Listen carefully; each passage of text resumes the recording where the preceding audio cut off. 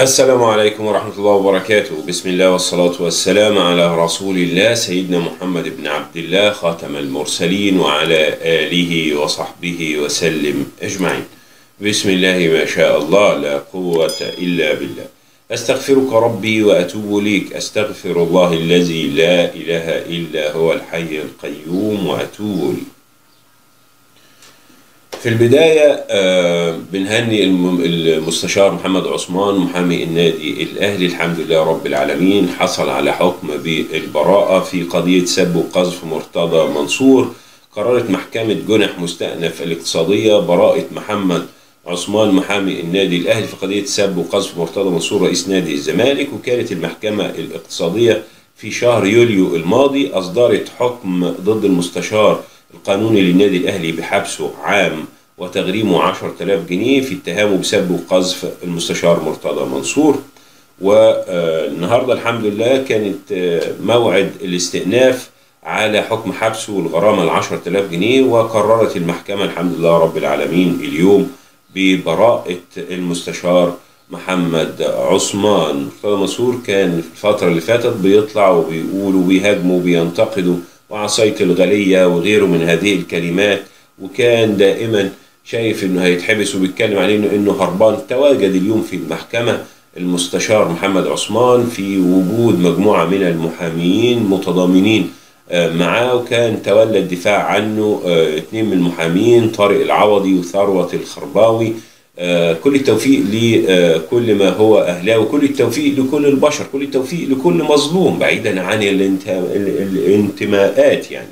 وللأسف الشديد عايز أقول حاجة سريعا كده. أنا كنت متصور إن الخلاف في وجهات النظر وده وارد جدا إن أنت تقول رأي وأنا أقول رأي مخالف.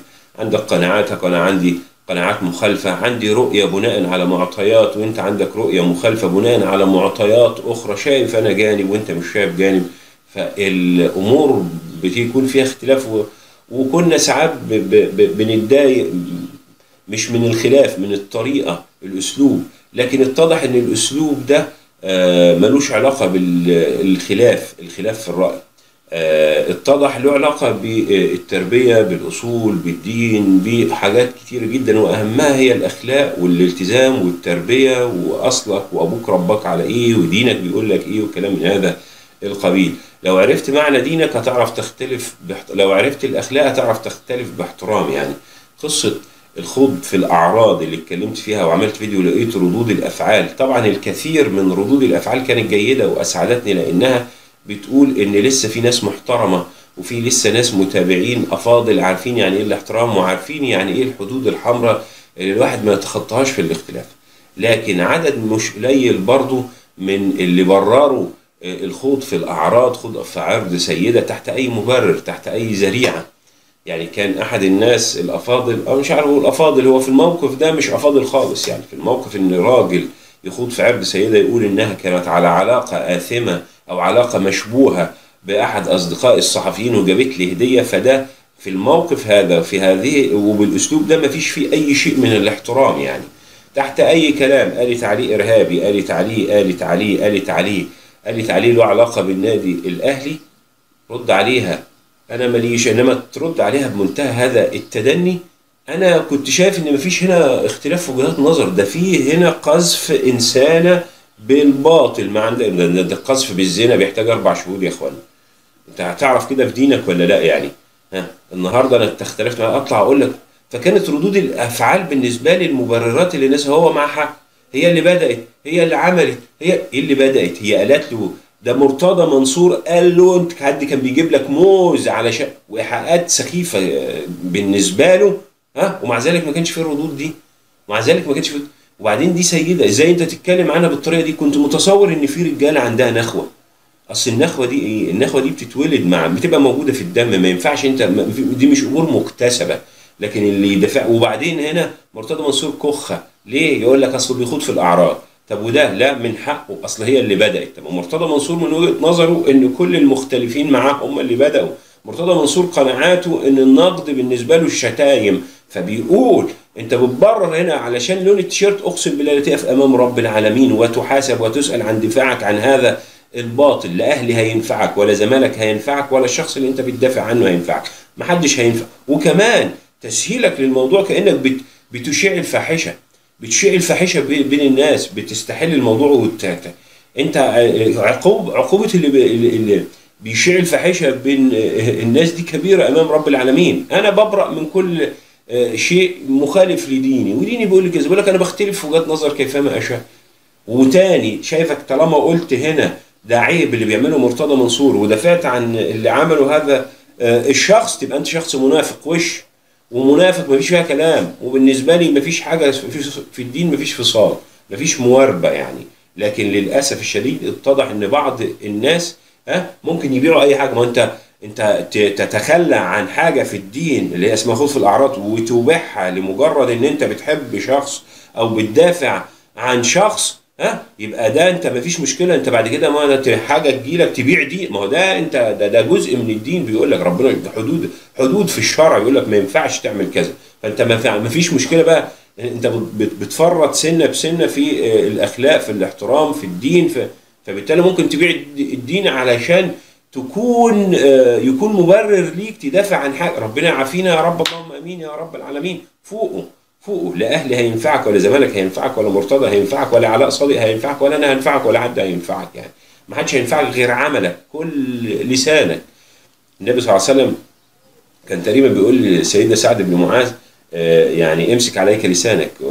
فالكلمه بتهوى في بال- بالإنسان في النار سبعين خريف وسبعين خريفا وقال ألا يكب الناس في على مناخرهم في النار إلا حصائد ألسنتهم؟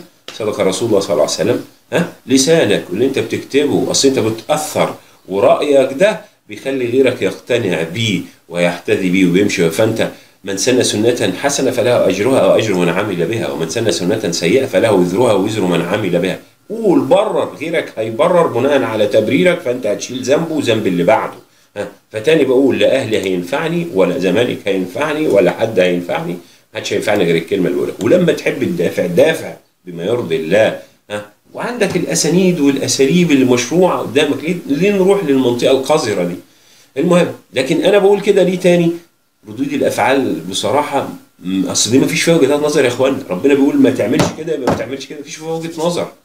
إنما اللي بيحلل ويبرر تحت أي ذريعة ده ما يلزمنيش. ما يلزمنيش. ناس تقول لك أنت بتتكبر على الناس. لا لا مش تكبر. ده ناس ما تعرفش أدب الخلاف. ده ناس ما عندهاش أي حدود ده ناس ما عندهاش مانع تعمل أي حاجة وتقول في حقك أي حاجة ها؟ ده الناس دي ما ما ما ما معدومة الأخلاق خلاص. بيان النادي المصري بيان النادي المصري البورسعيدي بيان من مجلس إدارة النادي المصري بشأن تداعيات أزمة الملعب آه، اللي بيستضيف مباراة الفريق الأول للموسم الجديد آه، موسم 22 23 البيان بتاع النادي المصري بيقول لك يعرب مجلس إدارة المصري عن استيائه الشديد من الإصرار على أن يكون ملعب برج العرب هو الملعب المخصص لاستضافة مباريات فريق المصري هذا الموسم وذلك على الرغم من إبرام التعاقد مع إدارة هيئة قناة السويس بالإسماعيلية لاستضافة مباريات المصري على استاد الهيئة الجديد ذلك الصرح العالمي الذي تم تشييده من أجل استضافة أي فعاليات محلية أو عالمية علما بأن إدارة النادي قد قامت بإتمام التعاقد مع هيئة قناة السويس أو أتمت كافة الإجراءات اللازمة لذلك. كما وضعت إدارة النادي ملعب استاد السويس الجديد كملعب احتياطي. وإيذاء هذا الأمر فإن مجلس الإدارة يعرب عن الآتي. أولا الرفض القاطع للعب على ملعب برج العرب مش هنلعب. وبعدين هم تقدموا بطلب للرابطة اليوم آه، بتأجيل الجولة الأولى للنادي المصري. هنبتديها بتأجيل. طب امال بقية الموسم هنعمل إيه؟ نظرا للأخطار بيقول لك إيه الرفض القاطع على ملعب برج العرب. نظرا للأخطار التي تواجهها جماهير النادي. بقى لهم سنتين بيلعبوا ولا يقول لك نظرا للجماهير وذلك من حيث بعد المسافة 700 كيلو ذهابا وإيابا بالإضافة إلى وعورة الطريق ناهيك عن الصعوبة البالغة في تدبير الموارد المالية اللازمة والأعباء التي يتكبدها النادي والذي أصبح غير قادر على استمراره في الوفاء بتلك الالتزامات. ثانيا لماذا الإصرار على استمرار تهجير ونفي النادي واللاعبين والأجهزة الفنية والإدارية والجماهير لأقصى مسافة ممكنة عن بورسعيد. هنا بيقول لك لماذا استمرار تهجير ونفي النادي؟ اللغة أساسا اللي موجودة لغة مع احترامنا للمسؤولين مستفزة نفي وتهجير النادي. لماذا هذا الاسم مش عارف لماذا؟ ما انتش عارفين لماذا يعني؟ وبعدين انت بتكلم مين؟ ما تكلم الأمن؟ ما تخاطب الأمن. هو انت هتلوي دراع ال- الأمن؟ ده ما لا لا الرابطة لها قرار في هذا الأمر ولا حد له قرار. الأمن قال لك يقبل مجلس الإدارة في كل الأحوال في حالة اللعب على استاد الهيئة. الالتزام بتقديم كل ما يلزم بما فيه تخفيض أعداد الجماهير والمعاونة في أي إجراءات إدارية يستلزمها الموقف يستلزمها الموقف رابعا يؤكد مجلس الإدارة تقبله اللعب على أي ملعب داخل بورسعيد المريخ أو الرباط أو بور فؤاد بدون جمهور وهي الملاعب التي تستضيف المباريات التي ينظمها الاتحاد المصري لكرة القدم. خامسا الإحباط الشديد للحالة النفسية والمعنوية التي يمر بها الفريق وجهازه الفني تستوجب أن تصدر رابطة الأندية قرارا بتأجيل المباراة الأولى. إحنا لسه لعبنا عشان حالتك النفسية، إن بنهزر. يا جدعان ما أنتش عاوزين تلعبوا في الدوري؟ شوفوا لكم حتة ثانية العبوا فيها. انسحبوا من الدوري. إنما حالة نفسية. حالتك النفسيه إيه يعني؟ في حد إيه؟ إيه حالته النفسية؟ قال إحنا لسه عملنا حاجة. هو الدوري لسه بدأ عشان الحالة النفسية. هي الحالة جت ولا قال قال لك قرر بتاجيل المباراة الأولى لحين الحصول على الموافقات النهائية لملعب استاد طب افرض إن الموافقات النهائية ما جاتش لا الجولة الأولى ولا الجولة الثانية أجي أجل لك أنا بقى وأفضل مربوط ده عشانك. علشان ساعتها مش عايز تلعب في الملعب اللي كنت بتلعب بيه. استاد هيئة قناة سويس أو الملعب البديل أخيرا يؤكد مجلس الاداره مبدأ اللعب على استاد برج العرب يعد امرا غير مقبول ومرفوضا شكلا وموضوعا. مجلس الإدارة للنادي المصري العربي طب كلم الأمن بقى. يلا يا أمن الأمن بيقول لك أنا مش ع... المصري بيقول لك يا أمن أنا مش عاجبني قرارك ها. ميدو بقى في آه بيتولى الدفاع عن النادي المصري يقول لك اللي بيحصل للنادي المصري؟ عذاب لأي نادي ولا يتحمله أي نادي في العالم. مش فاهم إيه سر التعنت الشديد في موضوع الملعب؟ إزاي تخلي فريق يلعب على بعد 700 كيلو من مدينة؟ ما تروح تأمن أنت يا يا ميدو. ما تمسك أنت بقى الأمن يا ميدو وتعرف كل حاجة وتعرف إيه الأزمات وبتاع ها. أنتوا شاطرين بس قالوا اسماعيليه ليه؟ القفشه بورسعيد ليه؟ الاهلي والاسماعيلي هنا ليه؟ لما تروح تشوف الملابسات ها خلي الأمن يطلعك على الأسباب يا ميدو يعني كل فتره طالع لي عمال تفتح لي صدرك أي كلام وخلاص على الزمالك نازل دفاع وهنا عامل إيه يا عم أنت؟ على كل سنوات طويلة أتمنى من المسؤولين الموافقة للمصري باللعب على الأقل في السويس أجهزة ولاعيبة وجماهير بتتبهدل ناس ماتت 74 واحد ماتوا أميدوا يعني الناس بتتبهدل ربنا يرحم كل من توفى وشهداء النادي الآن نحسبهم شهداء بإذن رب العالمين. اللي بيحصل اللجنة المنظمة في الكويت أمر صعب ومبالغ فيه لدرجة رهيبة. النادي الأهلي اللي بيتعرض له في محاولة لإبعاد جماهيره عنه ده يستلزم تدخل الاتحاد العربي لكرة السلة.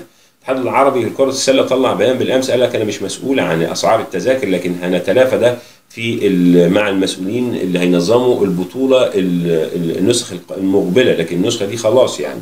لكن البطولة بدأت حضور جماهيري مكثف لجماهير النادي الأهلي وكانت التذاكر مجانا. ثم الأمور تصاعدت رفعوا التذكرة ل 2 دينار ثم 4 دينار ثم مباراة النادي الأهلي الأخيرة مع قزمه الكويتي رفعوها إلى 8 دينار. ولك أن تتخيل يا صديقي إن مباراة اليوم الساعة 6 مساء النادي الأهلي والكويتي الكويتي في بطولة العربيه لكرة السلة رفعوا اسعار التذاكر من 8 دينار إلى 20 دينار أي ما يعادل 1200 جنيه مصري. لك أن تتخيل يا صديقي إن أوقات المصري بيروح يشتغل في الكويت ب 100 دينار. لما أنت تاخد في مباراة 20 دينار في مباراة واحدة 20 دينار هو رايح يشتغل علشان إيه يا جماعة؟ في إيه؟ ما ينفعش كده. كل ده لمحاولة حجب جماهير النادي الأهلي وإبعاد جماهير النادي الأهلي عن النادي في مباراته أمام الكويت الكويتي لاتاحه فرصة أكبر للكويت. ده مش ده مش فير بصراحة يعني. طب هو الناس دخلت تهاجم النادي الأهلي المجلس ده المجلس ده يعمل إيه؟ إذا كان الاتحاد العربي تنصل من المسؤوليه ملوش علاقة. المسؤولين واللجنه المنظمة هي المسؤولة. دخلوا من هاجموا النادي الأهلي وهاجموا طارق أنديل. يعمل إيه ده طارق أنديل يعني؟ وبيحاولوا يحلوا لكن الناس بقى هم بيحاولوا يساعدوا ناديهم اللي هو الكويت الكويتي يعني. في النهاية شكرا على حسن متابعه حضراتكم ودول في أمان الله ورعايته والسلام عليكم ورحمة الله وبركاته.